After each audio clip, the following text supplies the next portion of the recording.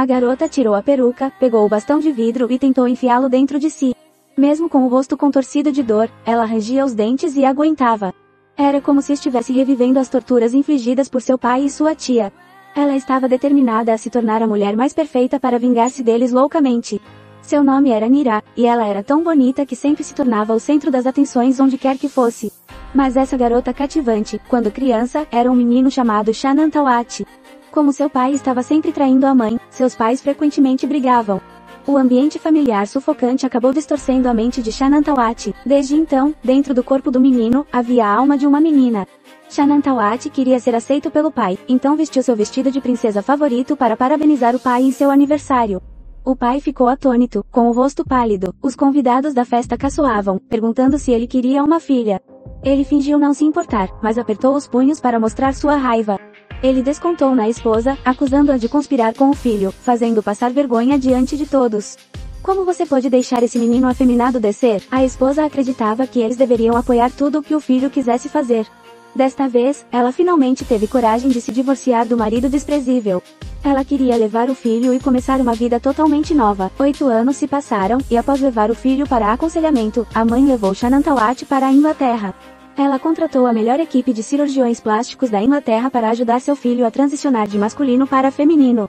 Ela até pediu ao mordomo que fosse ao mercado negro para preparar uma nova identidade para o filho. Enquanto as duas aguardavam ansiosamente pelo futuro feliz, a mãe sofreu um acidente. Enquanto dirigia, o ex-marido ligou para perturbá-la. Não pense que você pode fugir de mim.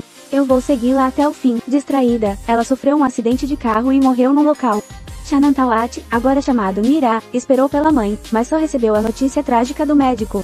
Mira não podia acreditar que uma pessoa viva de repente morresse. Ela chorou inconsolavelmente, até que o médico lhe deu um sedativo e ela se acalmou.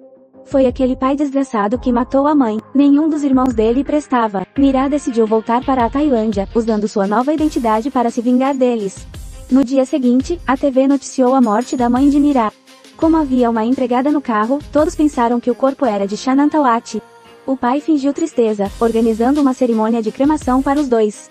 Mesmo assim, ele não esqueceu de abraçar duas mulheres, como se estivesse de férias. A tia Hunglong ainda estava planejando usar o funeral para promover o hotel. Apenas o tio Chachaui estava realmente triste. O sorriso do sobrinho aparecia constantemente em sua mente. Eu quero estar ao seu lado. Tio, além da mãe e de mim, você não amaria mais ninguém. Agora estamos separados pela morte. O que resta é a saudade. Se realmente houver uma próxima vida, espero que possamos nos encontrar novamente. Garoto, Mira voltou para a Tailândia e viu as notícias na TV. Ela não podia acreditar que o pai e a tia estavam usando seu funeral para promover o hotel. Mesmo após sua morte, eles ainda a torturavam. Mira não pôde aguentar, desmaiou de raiva e, quando acordou, já era o dia seguinte. Ela estava determinada a acelerar sua vingança. Ela ligou para o tio e pediu que preparasse um carro para um dia. Mira decidiu procurar ajuda. A pessoa era o médico que sua mãe havia levado para aconselhamento. No dia seguinte, Mira foi à casa do Dr. Benjang, seguindo o endereço, pedindo que ele prescrevesse um medicamento para ela.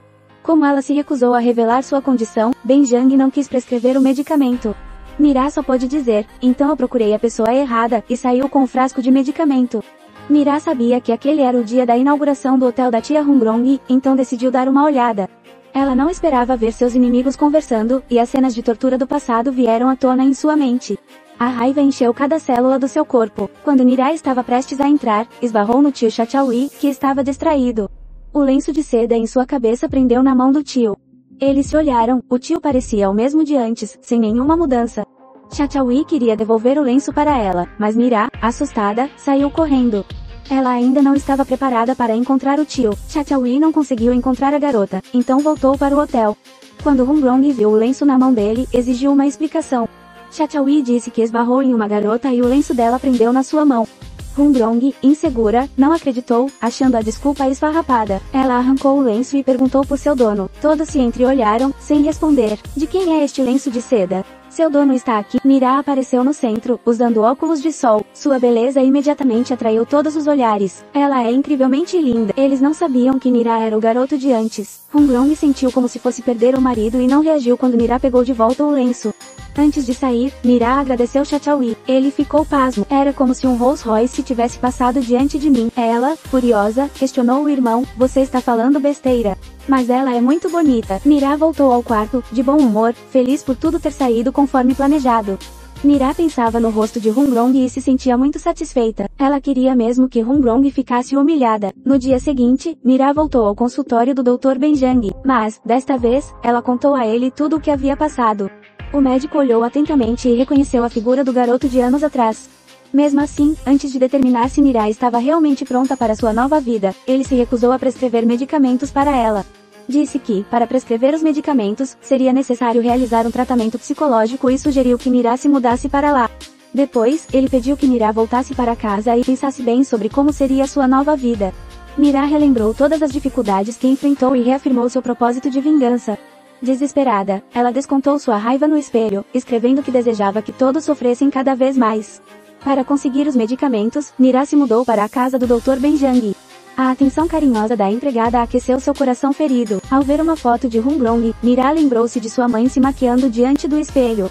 Então, ela pensou em como poderia usar a maquiagem para agir. Mira recordou quando sua mãe a maquiava e começou a aplicar maquiagem em seu próprio rosto. Sempre que tinha um momento livre, ela pedia à empregada para ajudá-la a praticar.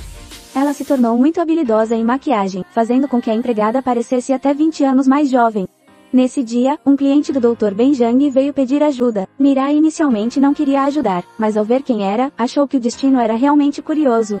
Pois era uma amiga íntima de Hungrong. Se ela começasse a se aproximar de Hungrong através dessa pessoa, certamente a pegaria desprevenida. Então, Mira aceitou o pedido e começou a maquiar a mulher. Como esperado, a habilidade de maquiagem de Nira foi elogiada por todos os convidados. Ying se tornou o centro das atenções da festa, e logo ligou para Benjang, querendo que Nira se tornasse sua maquiadora. Ao saber disso, Nira não pôde deixar de sorrir. Os peões da vingança estavam todos posicionados. Para parecer ainda mais profissional, Nira começou a comprar uma série de produtos de maquiagem famosos. Depois, ela foi à casa da senhora Ying. Quando estava prestes a começar o trabalho, o telefone da mulher tocou. Era uma ligação da amiga íntima. Mira, ao ouvir o nome de Humbrong, decidiu usar Ing para se aproximar de Humbrong. No entanto, quando Humbrong ligou para convidar Mira para a maquiagem, Mira ainda estava surpresa. Humbrong continuava a ser arrogante como antes. Eu quero que você venha me maquiar imediatamente. Mira, incomodada com a atitude de Humbrong, respondeu que não iria sem um agendamento prévio. Humbrong, ao ser recusada, ficou furiosa e acusou Mira de não saber o que era bom para si, pedindo que pensasse bem antes de responder.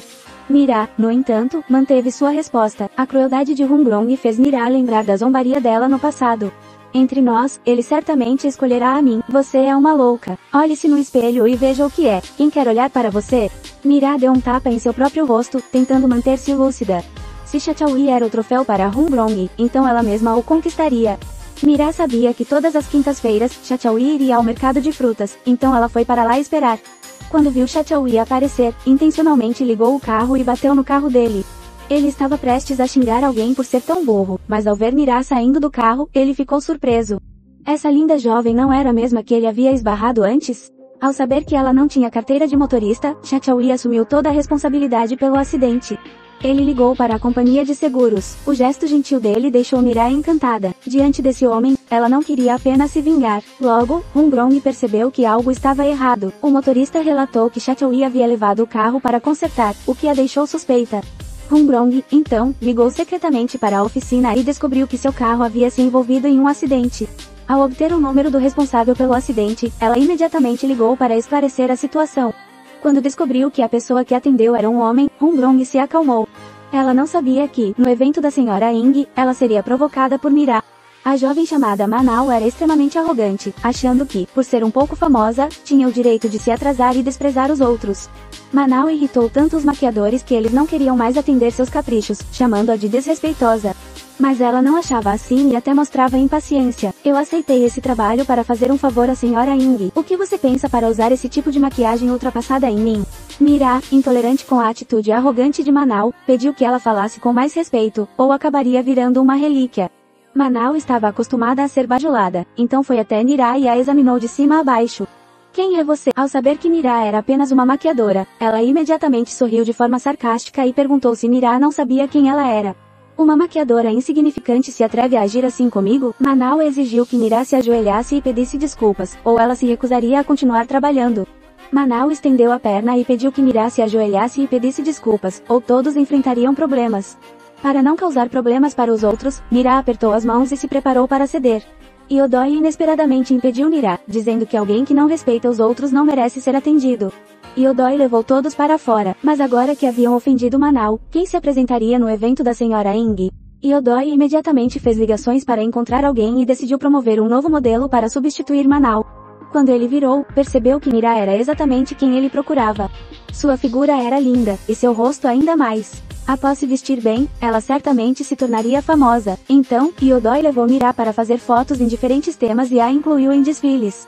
A fama de Nira se espalhou rapidamente, logo chegou o dia do evento. Manal ainda não sabia que havia sido substituída e estava ocupada dormindo em casa. Quando a senhora Ing ligou, ela nem atendeu. Nira chegou ao local conforme combinado, mas não esperava ver Hungrong íntima com Chachaui. Furiosa, estava prestes a ir embora, mas Chachaui a puxou e a levou para um canto reservado. Ele explicou que, desde a primeira vez que viu Nira, não estava mais com Hungrong. Ele sempre a lembrava. Mira fingiu desinteresse, então Chachaui a empurrou contra a parede. Ele não conseguiu se conter e estava prestes a beijá-la para mostrar o quanto sentia saudades. Nesse momento, Iodoi entrou e viu a cena. Mira, envergonhada, saiu correndo, e Iodoi, sem entender o que estava acontecendo, rapidamente a cumprimentou e a seguiu. Esse homem já é casado, você não pode fazer isso. Mira disse que não tinha nada com Chachaui e pediu para Iodoi confiar nela. Mas, ao voltar para o vestiário, Mira não conseguiu tirar da cabeça a cena que acabara de ver. O olhar de Chachaui a fascinou, e ela teve dificuldade em controlar seus próprios sentimentos. Quando o evento estava prestes a começar, Hungrong apareceu deslumbrante. Ela queria mostrar a Chachaui o quanto estava deslumbrante. Ela estava confiante ao caminhar no palco e ainda fazia olhares para Chachaui. Mas, em seu coração, ele não demonstrava nenhuma reação. Ele estava aí apenas para ela. Hungrong teve que se sentir desconfortável e se afastar. Para piorar, ela descobriu algo ainda mais irritante nos bastidores. Quando ela chegou ao fundo do palco, descobriu que a modelo final era Mira. Ela desdenhou, chamando Mira de uma rã feia, mas Mira ignorou e saiu confiante para o palco. Quando as luzes se acenderam, ela se tornou o centro das atenções.